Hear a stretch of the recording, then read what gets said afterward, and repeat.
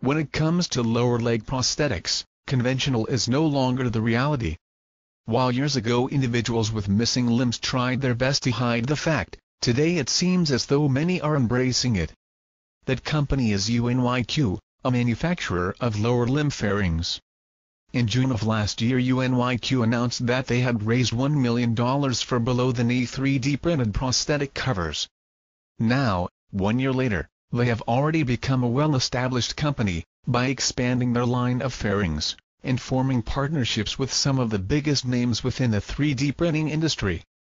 Today they announce a partnership with the global leaders in prosthetics, Ottobock, to provide stylish cosmetic fairings to lower limb amputees. The first collection that the two companies will be introducing is the UNYQ Design for Ottobock collection which will be introduced in quarter 3 of 2015. It will definitely be interesting to see how UNYQ's unique designs are integrated with Ottobock's extremely